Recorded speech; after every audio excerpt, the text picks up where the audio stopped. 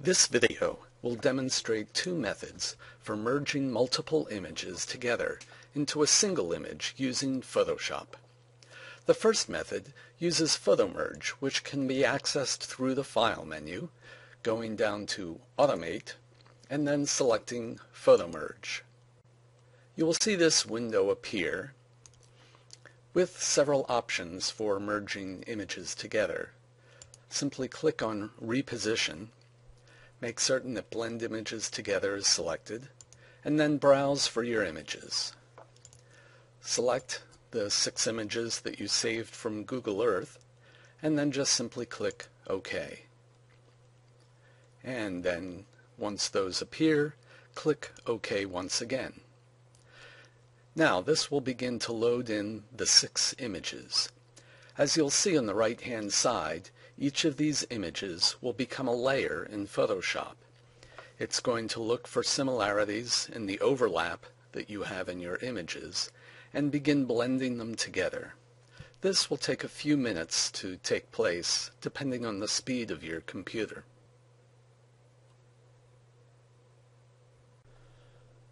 The six images have now been grouped into one larger image and you can see the six separate layers here and if we click on one of these, we can turn off a layer and you can see how this has been blended together in order to create this one larger image. The first thing we'll do is go to the crop tool and simply click and select that and that will allow us to begin to make a nice clean edge around this image and to take out the blank spaces where the overlap between the images that were captured from Google Earth weren't quite perfect. Double click and we now have our final clean image. We can come next to layers and there's a pull down menu that you can get in the top right corner which allows you to create a new layer, duplicate layers, a variety of different operations. But we're just going to simply flatten this image so that it's now just a single layer.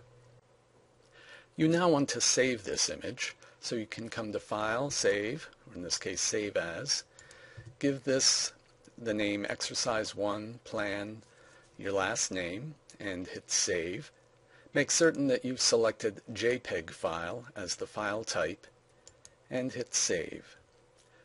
You can just select this as a medium resolution image or image quality as 6, hit OK, and your file is now saved and we're ready to move on to the next step.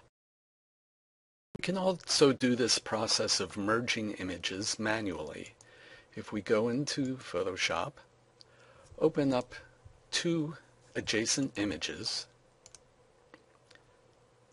and then take a look at one of these images. Let's look at our first image, which is the one that would be on the left-hand side. Go up to Image, and we can check out the image size. In this case you can see that it's 18 inches wide at 72 dpi. So what we can do now is come up to image and set the canvas size to be double this width to make certain that both of these images will fit side by side against one another even though there is overlap. So what we'll do is double click on our layer and hit OK and you can see what that did was unlocked the image. And we can now use the zoom and zoom out on this scroll across and then select the move tool. And if we hold down the shift key and click move, we can move this true horizontal over to the edge. Now what we're going to do is select our second image and come up to the select menu, select all, and then under edit we're going to copy this image, click on the tab for our first image, come to edit, and hit paste. So we now have this second image in place. We can hold down shift and use the move tool to drag this over and you can see the overlap between these two images. So we're going to try and align this so that these two images fit together. However, what we want to do here to make this process simpler, first let's zoom in a little bit.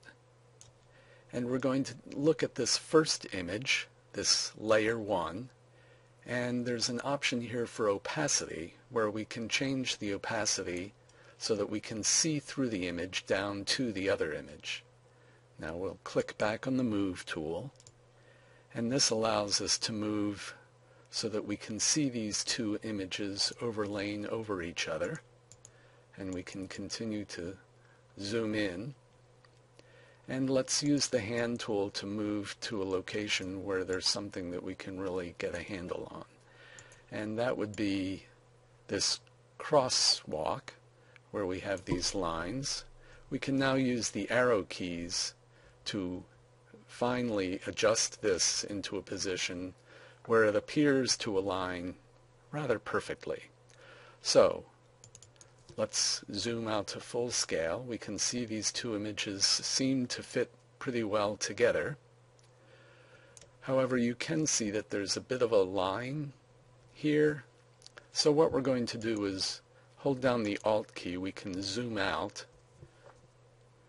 and we're going to take the marquee tool and we'll actually just clip off about half of the overlapping image which will include that line.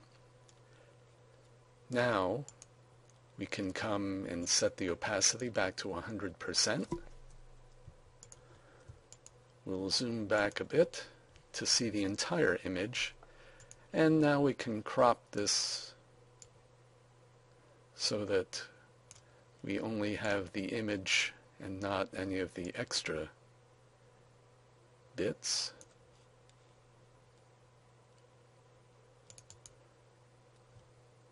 Double click and we have our image. We're now going to go through the process of highlighting our site area, which is around Machmer Hall, and we're going to go to the Layer command and highlight this by using an adjustment layer.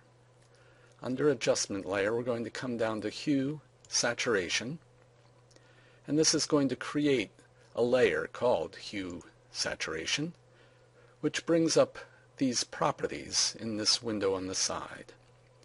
Saturation is the amount of color which you can create very vibrant effect or if we decrease saturation all the way down to minus 100 we end up with a black and white image. We can also adjust the lightness making this image dark or we can brighten it up to give it a faded out effect. So we're going to go with this effect. Part of the hue saturation layer is a mask. And what we're going to do, let's zoom in on the area around Machmer Hall. And we're going to use the polygonal lasso tool to outline our site area, which goes from the student union across in front of the parking garage and creates this area. Now if we hit the delete key, we're actually cutting a hole in this mask. Let's turn this layer off and you can see that we have our color. If we turn the mask back on, you can see the effect with the hue and saturation levels adjusted.